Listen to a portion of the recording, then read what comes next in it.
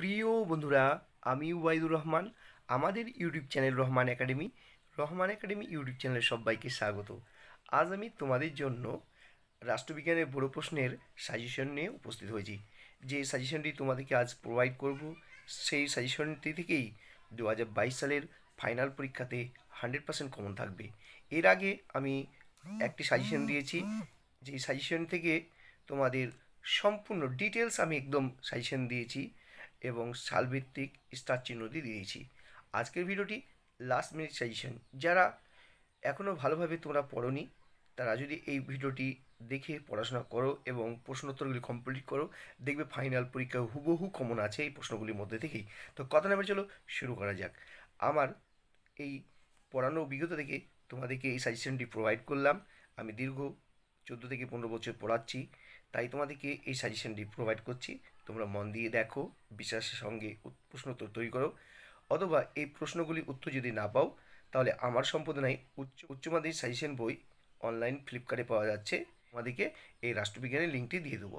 তো প্রথম প্রশ্ন, প্রথম অধ্যায় থেকে আন্তর্জাতিক সম্পর্ক, আমি তোমাদের দুটো প্রশ্ন রেখেছি। প্রথম প্রশ্ন হচ্ছে, শক্তি বা ক্ষমতা কাকে বলে?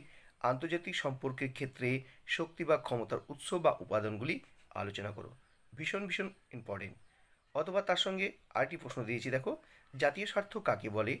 জাতীয় স্বার্থ ধারণার প্রকৃতি বিশ্লেষণ করো অথবা জাতীয় স্বার্থের শ্রেণি বিভাজন করো। এটা একটা আলাদা পোর্শন কি বললাম বলো তো দুই নম্বর প্রশ্নটা? জাতীয় স্বার্থ কাকে বলে? জাতীয় স্বার্থ ধারণার প্রকৃতি বিশ্লেষণ করো অথবা জাতীয় স্বার্থের শ্রেণি বিভাজন করো। এই দুটো প্রশ্ন তোমাদেরকে দিলাম। প্রথম প্রশ্নটি অবশ্যই অবশ্যই করে রাখবে এবং দ্বিতীয় প্রশ্নটিও দ্বিতীয় প্রশ্নটিতে দুটো প্রশ্ন আছে, তোমরা অবশ্যই দেখে রাখবে। তারপর চলো, পঞ্চম অধ্যায়। তোমাদের প্রথম অধ্যায়ের পর থেকে একদম দ্বিতীয়, তৃতীয়, চতুর্থ অধ্যায় বাদ গেছে, তারপরে বড় প্রশ্ন হয় পঞ্চম অধ্যায় থেকে কয়েকটি প্রধান রাজনৈতিক মতাদর্শ। যা হোক, তোমাদেরকে আজকে সাজেশন দিচ্ছি। আজকে যদিও আমার শরীরটা খারাপ, গলা একটু ভারী ভারী আছে, তবুও তোমাদেরকে খুব একটা ভালো সাজেশন দিচ্ছি। যে সাজেশন তুমি পড়লে পরে হান্ড্রেড পার্সেন্ট উপকারে আসবে। তো দেখো উদারনীতিবাদ কাকে বলে? উদারনীতিবাদের মূল বৈশিষ্ট্য বা মূলনীতিগুলি ব্যাখ্যা করো। ভীষণ ভীষণ ইম্পর্টেন্ট তারপরে দেখো, মার্ক্সবাদের মূল সূত্র বা মূলনীতিগুলো আলোচনা করো। এইখান থেকে তোমাদের আবার কেটে কেটে প্রশ্ন আসতে পারে। ঐতিহাসিক বস্তুবাদ ও দ্বন্দ্বমূলক বস্তুবাদ এবং রাষ্ট্র সম্পর্কে মার্ক্সীয় ধারণা বা রাষ্ট্রের প্রকৃতি সম্পর্কে মার্ক্সের ধারণা। এই মার্ক্সবাদের মূল সূত্র যদি তুমি পড়ে যাও, তাহলে এই পয়েন্টগুলো চলেই আসবে। তা থেকে পয়েন্ট থেকে তোমাদের তোমাদের কেটে কেটে প্রশ্ন আসতে পারে। তার মধ্যে হচ্ছে ঐতিহাসিক বস্তুবাদ ভীষণ ইম্পর্টেন্ট রাষ্ট্র সম্পর্কে মার্ক্সীয় ধারণা ভীষণ ইম্পর্টেন্ট অথবা রাষ্ট্রের সম্পর্কে মার্ক্সীয় ধারণা ব্যাখ্যা করো, ভীষণ ভীষণ ইম্পর্টেন্ট তাহলে বুঝে গেলে তোমরা, এবার আসছি আমরা সরকারের বিভিন্ন বিভাগ বা বিভিন্ন রূপ, ষষ্ঠ অধ্যায়। এই অধ্যায় থেকে কোনো কোনো বছর তোমাদেরকে সপ্তম অধ্যায়ের সঙ্গে অল্টারনেট করে প্রশ্ন দেয়। তাই তোমাদেরকে বলব, এখান থেকে কয়েকটা প্রশ্ন করবে, কিন্তু সপ্তম অধ্যায় থেকে যে প্রশ্নগুলি থাকবে, সেগুলো সবই করবে। আমি তোমাদের বলে রাখলাম। তো দেখো দ্বিকক্ষ বিশিষ্ট আইনসভার পক্ষে ও বিপক্ষে যুক্তি দাও, অথবা বিচার বিভাগীয় সমীক্ষা বলতে কী বুঝো? বিচার বিভাগের স্বাধীনতা কীভাবে সংরক্ষিত হয় তা ব্যাখ্যা করো। তারপরে দেখো, আধুনিক রাষ্ট্রের শাসন বিভাগের কার্যাবলী ব্যাখ্যা করো, অথবা ভালো স্টুডেন্ট হলে আইন বিভাগও দেখে থাকবে। ক্ষমতা স্বতন্ত্রীকরণ নীতির পক্ষে ও বিপক্ষে যুক্তিগুলি বিশ্লেষণ করো। তারপরে দেখো, সপ্তম অধ্যায়, ভারতের শাসন বিভাগ।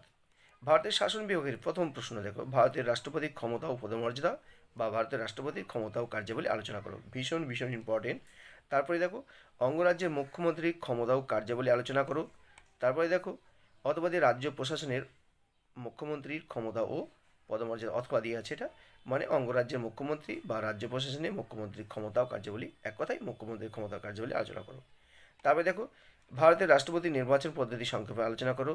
তারপরে দেখো চার নম্বর রয়েছে ভারতের প্রধানমন্ত্রীর সঙ্গে মন্ত্রিসভার সম্পর্ক আলোচনা করো। ভীষণ ভীষণ এই কটাই প্রশ্ন ইম্পর্টেন্ট তারপরে আট অধ্যায় দেখো ভারতের আইন বিভাগ।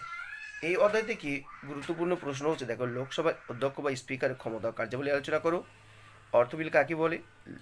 লোকসভায় অর্থবিল কীভাবে পাস হয়? পাস করা হয়।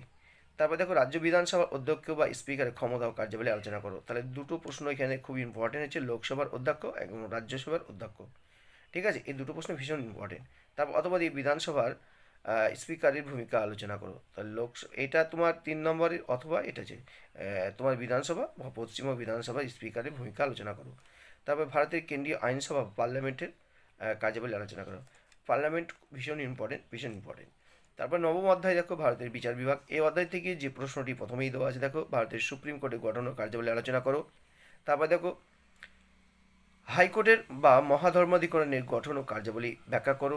তারপরে বিচার ব্যবস্থার মূল বৈশিষ্ট্যগুলো আলোচনা করো।